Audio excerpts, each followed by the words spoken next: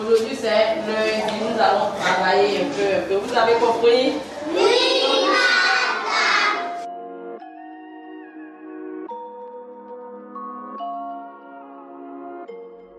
À chaque rentrée, il y a des difficultés financières qui s'imposent à tous les parents du Côte d'Ivoire, partout. Mais cette année, ça va être, cette rentrée va être plus difficile pour beaucoup de parents qui aujourd'hui euh, n'ont pas d'abri.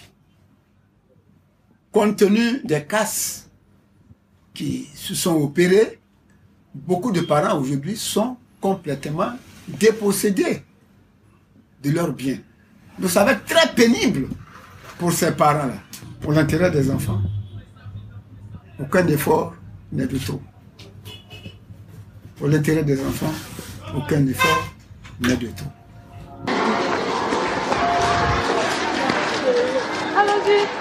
Un appel entendu par des associations de jeunes qui ont décidé d'agir concrètement. Dans un élan de solidarité, ces jeunes cadres dynamiques ont uni leurs forces pour distribuer 500 kits scolaires aux enfants du primaire. Un geste généreux qui redonne espoir à de nombreuses familles.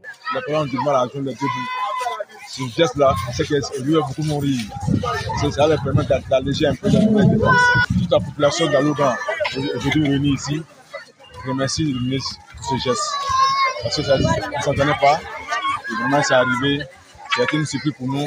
Nous sommes très heureux, très contents. Nous nous disons très, très, nous disons merci. septembre 2024. C'est bien. Comme vous savez, nouvelle, c'est l'année. Nous sommes en 2024. C'est bien. Ce sont des cahiers, stylos et autres fournitures de base, mais pour ces enfants, cela représente bien plus. C'est une chance de commencer l'année scolaire avec tout le nécessaire en main. cette action de distribution des kits me va vraiment droit au cœur.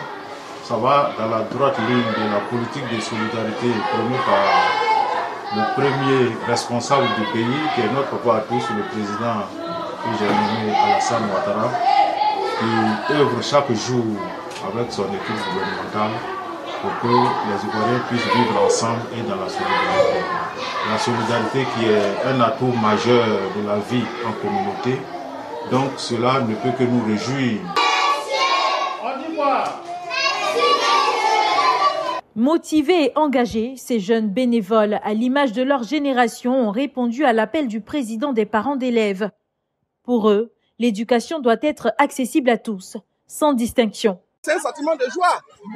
Voir des enfants heureux d'avoir des kits pour aller à l'école, c'est un sentiment de joie pour nous. Et il n'y a rien d'autre de voir des enfants contents d'aller à l'école. Et de voir tous ces parents autour de nous, nous, dire merci parce que c'est une épine que nous venons d'enlever sur les pieds.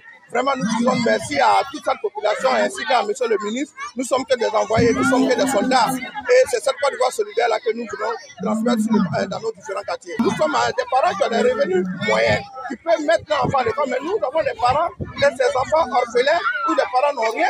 Donc c'est ce que le ministre nous a demandé. Je pense que nous pourrons satisfaire ces parents-là pour que chacun puisse avoir un enfant à l'école pour la nouvelle politique euh, tous à l'école pour que euh, nous ayons une Côte d'Ivoire de demain avec des jeunesses mieux formées. Les nous sont là pour travailler. Vous avez compris? Pour ces enfants, ce n'est pas seulement une rentrée, mais une véritable chance. Avec leur nouveau kit scolaire, ils sont prêts à affronter l'année avec plus de sérénité et de motivation. Un geste simple, mais porteur de tant de promesses pour leur avenir.